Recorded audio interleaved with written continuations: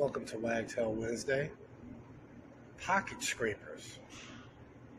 Pocket scrapers. How many of you have pocket scrapers? It's a good idea to have pocket scrapers. Uh, I'm sure most of us have the razor that fits on a pole, but pocket scrapers is what I really want to talk about because it's always in your pocket and you always have it. And if you're doing a lot of scraping or construction cleanup, you don't have to keep taking the scraper off the pole, unless, of course, you have two scrapers that fit on a pole.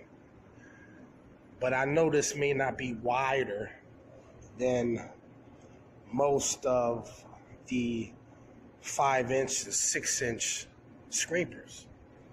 But when you're using it in the hand and you're down low, it's easy to leave that on the pole for your next window to scrape. And then you have this for all head level. Most of my frequent and route, route work, they're not going to put tape up beyond you could reach.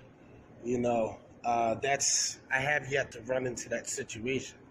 So everything is head level. So I don't really remember when's the last time I used a scraper that needed to be fitted on a pole. Every once in a blue moon, I break it out, but I already know beforehand.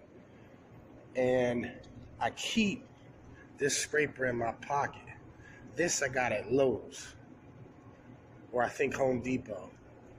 One of the two. And uh, it's made by Unger. It's a very good blade. It's a very good blade. I, keep two scrapers, two pocket scrapers, one for tint and then one for glass. Now, the one for tint, yes, there is a scraper for tint. Bam. I keep this in my wallet. I mean, not wallet, my pockets. Now, when you see food particles like that on tint, you don't want to go picking with your fingernail, even though you could. But let's say there's a lot, you'll be picking for a while.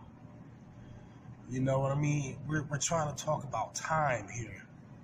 So, what you want to do is you want to use that and get it off. You know? Same thing if you have, like it is now, you got pizza stuff that's been caked on the mullions. You don't want to go taking a sharp razor to that.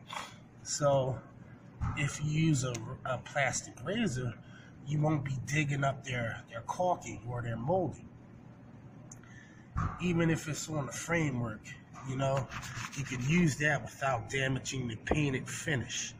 So these are highly recommended I don't never hear enough people talking about these, but it is def it's in a definite in our industry, especially if you're doing construction cleanup, because you're less likely to scratch a glass if you have a chunk of cement on the glass.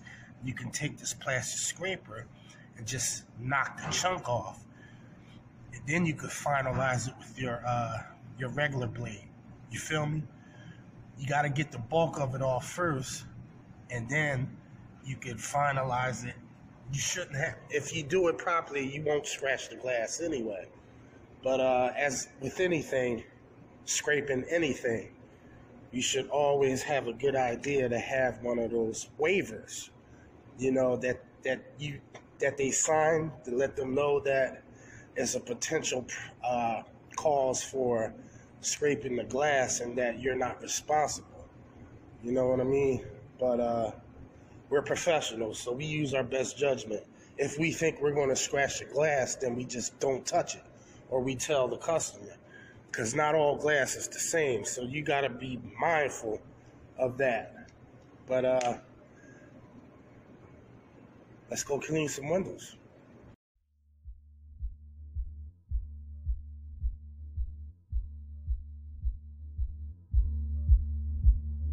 Jazzman dances again.